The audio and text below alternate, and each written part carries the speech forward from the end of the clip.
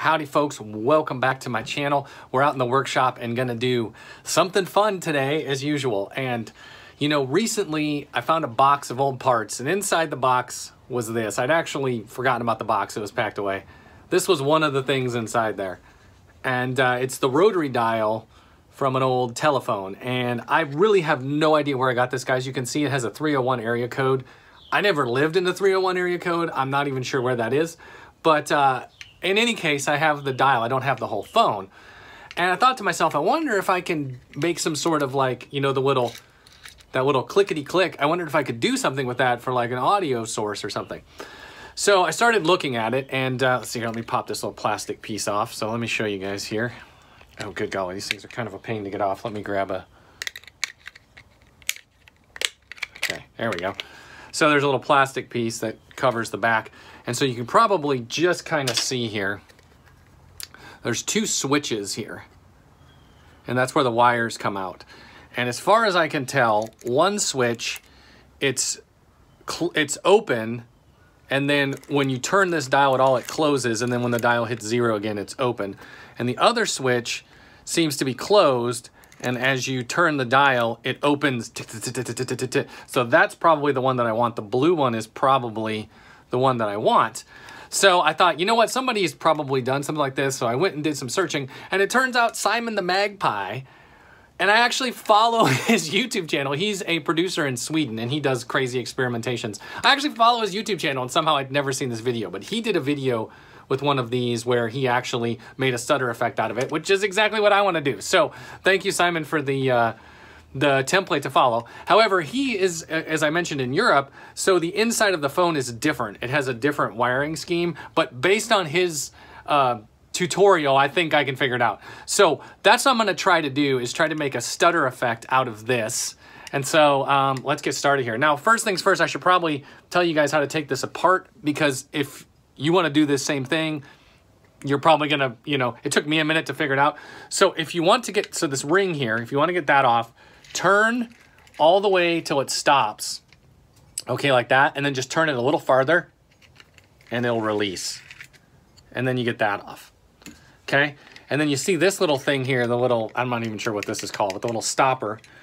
If you look on this side, there's a little peg that holds it in. So if you just take so you just push in on that peg with like a small screwdriver and that will slide right out. Okay, then if you just turn this, the, out, the plastic ring, just turn it a little bit and it pops right off.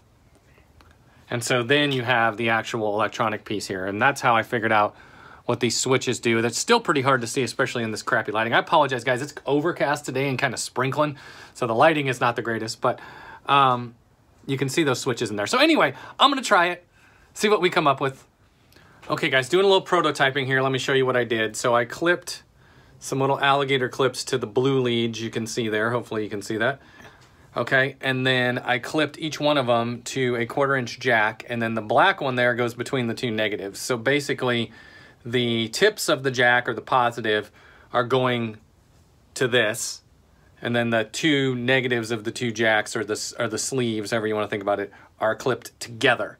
Okay, so then I'm going to take these down and I got a little cigar box amp here. And it doesn't really matter which one's input and output from what I can see. I've got a little cigar, cigar box amp here. So I'm going to plug it into that. I know it's out of the frame. You can't see it. And then I have over here my Jarmageddon, my little glitch generator that uh, I did a separate video on this a while back. And I'm going to plug that in to this side, to the other side.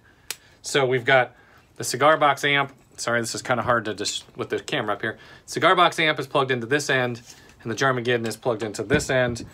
And then we've got both ends. Oh, now I got it all tangled. Sorry. We got both ends plugged into this. This one just came off. Sorry about that. So both ends plugged into our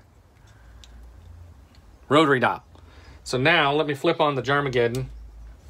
Okay, so that is on. You can see the red light, and it should just generate glitch sounds. Let me turn the amp on.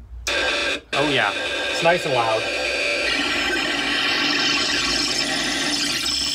Okay, now let's watch what happens when I do this. Yeah!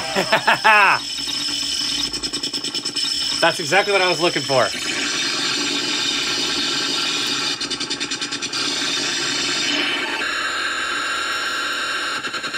All right.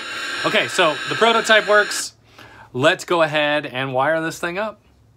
Okay, guys, here we go. You can see the dial. And then both the blue wires are wired to the positive of the jack and the two negatives are wired together. And I think this is gonna work. Now I was trying to figure out how to mount it and I was thinking about how could I mount it in a box, what could I do? And I found this. It's a flower pot, but check this out. It fits like, like literally it's just a little bit tight, but it goes on there. So I think it's just gonna stay once I put it on there. So I'm gonna try to uh, do that. I'll drill a couple holes through here and um, okay folks, here we go. So you can see we've got a jack on one side, jack on the other side. We've got that on the top using this little flower pot. It's not coming out of there. I mean, if you pull on it, it'll come out, but it, it actually, with no screws or, or anything, it really is not gonna come out of there. So um, this actually was fortuitous, worked out pretty well. So here we go. So let's just try it real quick. This cable is going to my amp. I'm gonna plug that in. And then this cable is coming from my Jarmageddon, the glitch generator. There we go. And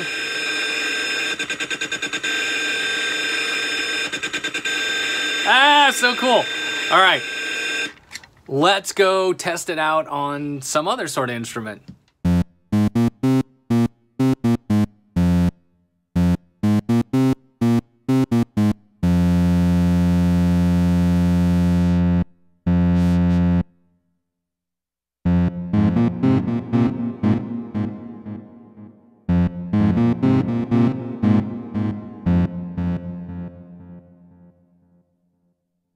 All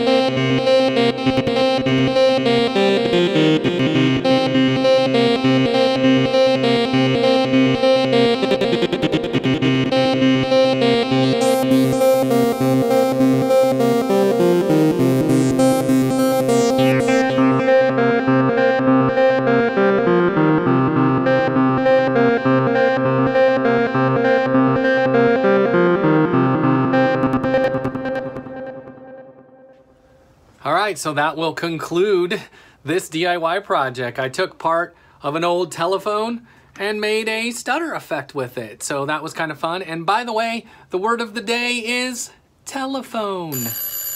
Hey guys, if you like what I do on this channel, go ahead and subscribe to Musical Miscellany to the max. That's what we do here. We'll catch you next time.